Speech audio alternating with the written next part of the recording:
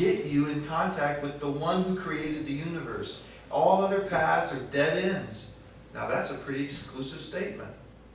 And anyone who believes that statement is going to be castigated in our, our culture as evil because you're exclusive. And in order to be accepted, you've got to accept us. If you don't accept us, the culture says, then we don't accept you, and we're going to break our own rule and not tolerate you. Well, if you're going to be tolerant, tolerate me. And where does this idea of not of intolerance come from? I'm pretty tolerant.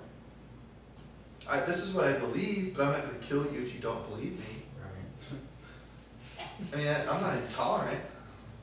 I just, I just believe this, and I shouldn't be labeled evil because of what I believe. I mean, I'll defend Sean Penn's right to say whatever he wants, as long as he stands for my right to say that he's wrong. Like the Dixie Chicks, something that I, I like to slap them around. Whenever, the, and it's been a long time, they've like publicly apologized, but when they said George Bush is a loser and was saying all kinds of stupid stuff at one of their concerts somewhere, and then people started saying, "Oh, I'm not gonna buy Dixie Chick Well, um, nobody, CDs but nobody said anything whenever, um, Pink wrote her song, Mr. President. Dear Mr. President, have you heard that song? No. She basically talks, she's talking about George Bush, basically, talking about how, uh, people are getting killed and all this other stuff in this war and that it's his fault and stuff, and then nobody, I thought it was funny because everyone Yeah. flipped out when Dixie Chick said something, but Pink writes a Well, song funny that's is- just front out there about the president. The funny thing was, no Dixie Chick said that, okay, which, uh, I, they have a right to say it, they have a right to an opinion of our president, no big deal.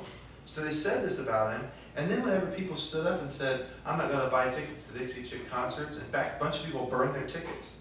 They, they burned their CDs, it was on the news. They started saying things like, I don't like the Dixie Chicks anymore, I think they're stupid. What did Dixie Chicks do?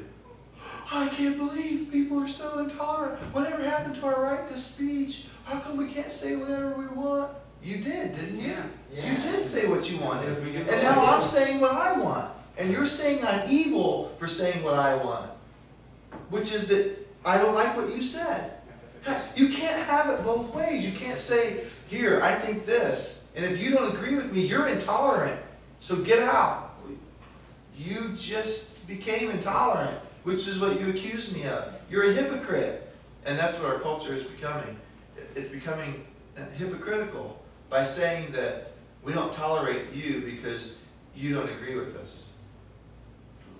You just became intolerant, which is what you accused me of. It's so stupid. I don't understand it, but that's where our culture is heading. And it's becoming dangerous to have an opinion in our culture. You just have to like, just shut up and go with the flow, or you're all of a sudden evil, and they will use the media to destroy you. Case in point, Carrie Prejean. Now, she brought a little bit of it on herself by uh, being a Christian, walking around in skimpy bikini, trying to compete for Miss whatever she was competing for, and then having pictures of herself that were very inappropriate. You, you kind of walked into that one yourself there, Carrie. But my point is, she said what she believed. She was asked the question, what do you believe? She never advocated violence or anything else against any homosexual group or person. Someone asked her, what are your views on homosexual marriage? And because she believes that marriage should be between a man and a woman, that moron, Perez Hilton, went ballistic. And he really, I'm glad he did, because he revealed himself to be a complete and total moron. In fact, a lot of homosexual groups asked him to just shut up because it was making them all look bad. Because everyone was saying, look, see what the homosexuals think of us? And they call us intolerant. So he completely walked into it. You're calling me, oh, I'm intolerant? To look at all the things you called me just because I believe a man should marry a woman. Well, you should apply the same level of tolerance to your own words as you expect me to apply to mine. I'm okay with you, if you want to marry a dog, go for it. Then acknowledge that I have the right to stand up and say a man should marry a woman, and I'm going to fight for it to stay that way. Proposition 8, California. So the, our culture, it's come to the point where if you're going to make a statement on a university or in the public forum at all, you've got to be willing to be, be called evil. and you've got to be willing to identify evil. they're trying to cut it off to where you won't step out on a limb and call anything bad. Because the moment I call something evil, what have I done? I've made a judgment about it. I've appealed to a higher authority than us. Because you and I are peers, we're men. And I can say, you know what, we just disagree. Macaroni and cheese isn't that great. That's one thing, because that's all relative and it's all limited to our opinions. But whenever I invoke a word like evil, now I've appealed to a higher authority and I've said, look, one better than us, on a totally different level than you and me, believes that to be wrong. And I'm referring to his judgment on that. Well, now I've called in a higher power, and boy, people don't like it when you call a higher power. Because you're saying that you- that you're right, capital R, and they're wrong, capital W. Who do you think you are, God? And what do you think? You mean you do, well, God talks to you? Really? God talks to you? You're insane. And that's where our culture's going.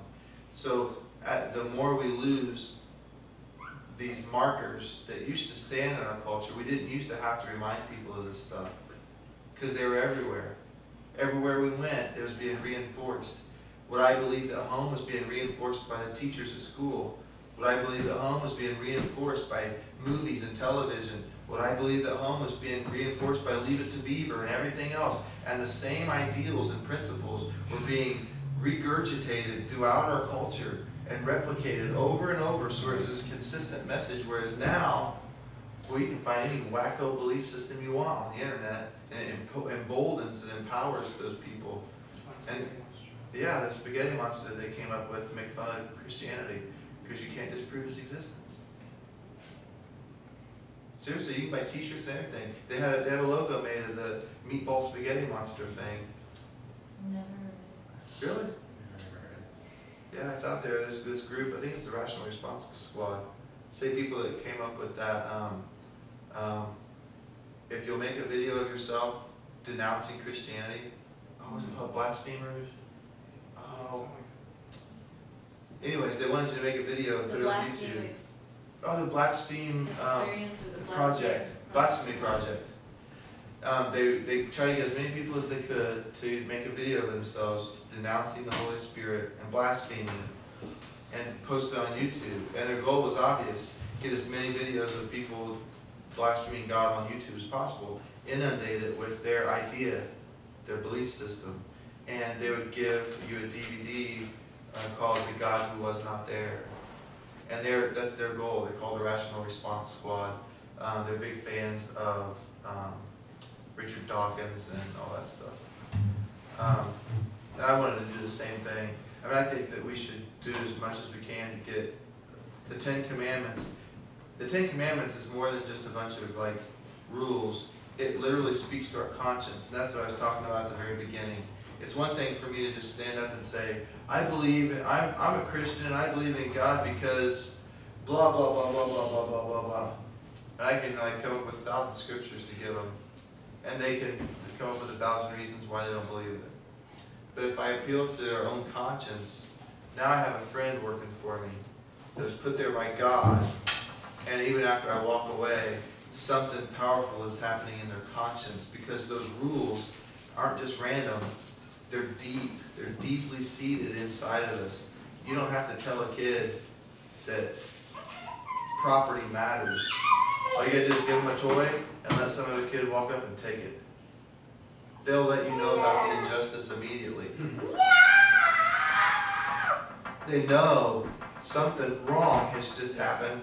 They may not know how to articulate it, but doggone it, something really terribly wrong has just happened. It's the end of the world. Some God-given right has been taken from me, and I'm gonna let the world know it. So those Ten Commandments speak to our conscience, and it's the most powerful thing uh, that you can share with anybody. The Bible calls it the law. It stops the mouth of every man. It makes us all guilty before God. Would, wouldn't there be more than just the Ten Commandments? Because I mean, like a lot of the beliefs out there follow the Ten Commandments and and like the right way of living. So isn't there more that you should put out there? Well, the Ten Commandments, uh, the only thing that quicken the conscience, the Bible says the one thing is perfect converting the soul, and that's the law. So the Ten Commandments is like the starting point